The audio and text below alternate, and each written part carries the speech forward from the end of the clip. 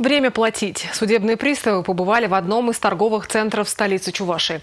Наведались они сюда не за покупками, а в поисках должников среди предпринимателей и продавцов. Наша съемочная группа составила компанию людям в погонах. Ну а мы здесь при чем? А мы здесь причем нас зачем снимаем?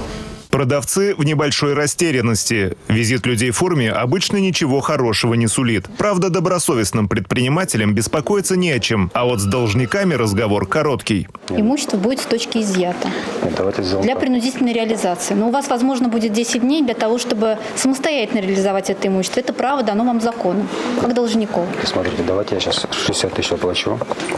Остаток в течение 10 дней попробую оплатить. И все. Имущество будет изъято. А вот предприниматель, который занимается продажей товаров для рукоделия, задолжал государству более 700 тысяч рублей. В ходе рейда судебные приставы наложили арест на все его товары, которые имеются на этой точке. В течение часа полки стремительно опустели. За 10 дней должник может погасить задолженность, либо все эти товары отправятся на принудительную реализацию. У владельца кафе долг хоть и небольшой, всего 11 тысяч рублей, но из-за этого он лишился кофемашины. Вообще за два часа приставы успели пообщаться с 10 предпринимателями. Мы выявили 10 предпринимателей, у которых имеется задолженность по налоговым платежам на сумму, превышающую э, 10 тысяч рублей. Самая максимальная сумма у нас была 700 тысяч рублей.